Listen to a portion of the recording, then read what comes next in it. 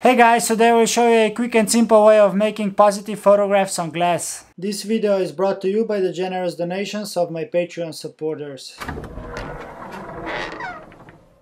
Positive image on glass leaves me speechless each and every time with its sublime beauty that literally demands your attention. So yeah, without further ado, let's make some if you ever printed with film before, the term contact print should sound very familiar. It's basically a negative placed emulsion side down on another piece of light sensitive material. Light is shown through for a short amount of time and this way the negative image imprints on another light sensitive material that is later processed to reveal the final positive image. In order to make your own you will need the following things. A glass or film negative like this here or you can even use a printed transparency like this one here. However I always recommend you to use the original as you can uh, capture and preserve all of those details of the original negative. And uh, one more thing uh, it's always nicer and uh, better to work with a bit denser negatives as they give you much more control throughout the process. Then you will need a unexposed glass plate coated with silver gelatin emulsion also known as a dry plate and of course I will be using Zebra 4x5 glass dry plates today that uh, I am uh, hand coating myself for uh, those who either don't have the time or the necessary equipment to coat them for themselves. They can be purchased in uh, different sizes in my Etsy store which is linked down below. Next one up is a darkroom with some sort of a light source whether it's an enlarger or a simple reading lamp like this one here. And the last but not least, you will need some processing equipment and chemicals in order to reveal your positive image. Before you start, get everything ready. Clean your negative. By the way, I'm using isopropyl alcohol. Prepare the enlarger, the chemicals, the drying racks and so on. So when you start, everything will run nice and smooth. Like I said in the beginning, regarding the source of light, you can use pretty much anything that emits light. Today I will be using an enlarger as it offers uh, much more control because of the lens aperture and so on. Right now and later on in the video you will probably notice that I'm not gonna be using a timer for the enlarger but uh, rather counting the seconds like this N-invased, N-invased, N-invased and so on. Uh, yeah, I don't have a proper timer just yet and to be honest I don't really miss it because the, the smallest format I shoot is 4x5 anyway. Unfortunately, there is no such thing as a universal exposure time as it depends of so many things from the distance and the power of your light source to the density of your negative and also to the way you're planning to develop your positive image. This is why you will always have to run some tests in order to determine your exact exposure and uh, that's exactly what I'm about to do right now. So yeah, follow me along. When it comes to testing, I would strongly recommend you to help yourself with a step wedge rather than exposing many plates before getting the right one as by doing that you're basically tossing your money through the window. Step wedge also offers you a direct comparison between each exposure step making the selection easier. I have obviously done some positives on glass before so I know that my exposure time will be somewhere between 6 and 12 seconds so I will expose my wedge with 6 1 second increments. For reference, my enlarger is equipped with a 150 watt bulb and the lens is set to f16 which gives me a bit more control with exposure running into full seconds. If you are using a reading lamp, you can adjust its power by uh, getting it closer or further away from the exposure plane.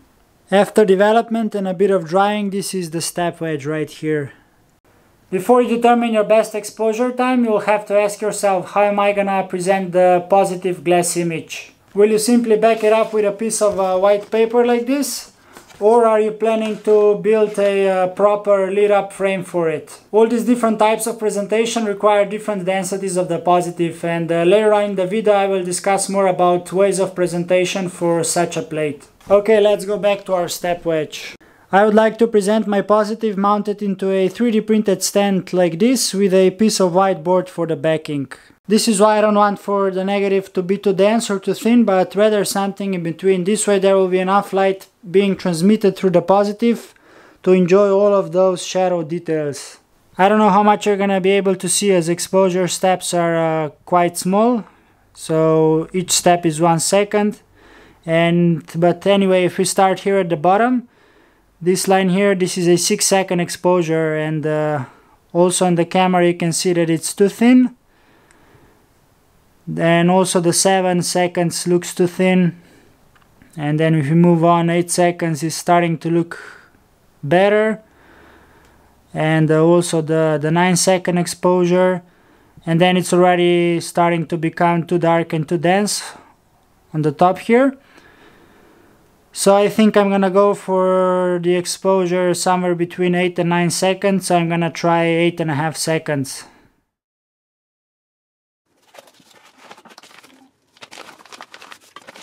On the red safe lights I take out fresh zebra dry plate and place it under the exposure area, emulsion side facing up. Then I take my negative and place it on top of the fresh plate, emulsion side down. This way emulsions are in direct contact to achieve the maximum possible sharpness.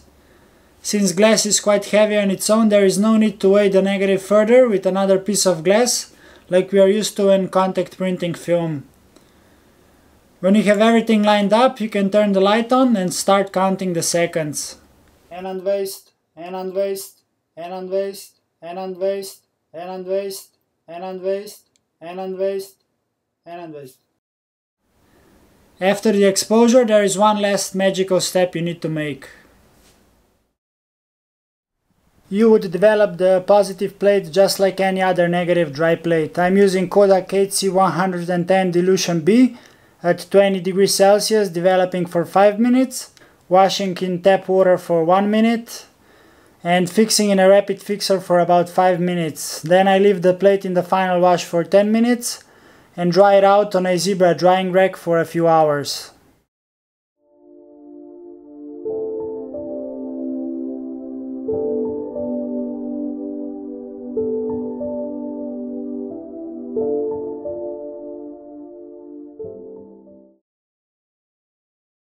When it comes to the presentation, there's actually quite a few options to choose from. You can simply back the positive up with a white paper and frame it as it is. You can make a 3D printed stand for it just like I did and enjoy the positive image in all of its glory from all sides. By the way, in the description below I'm also leaving a link to the free STL file of uh, this stand that can hold uh, 2mm thick 4x5 plate.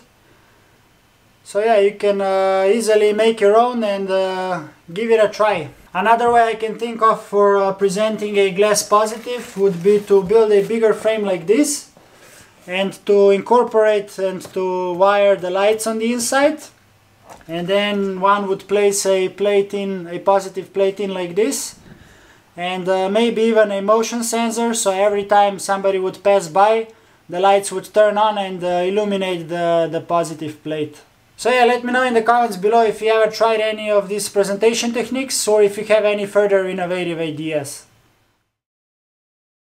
There you go guys, I hope this was useful and that you learned something new. If you did, please don't forget to press that like button and subscribe for more future content like this. I wish everybody to stay safe and catch you guys in the next one. Bye!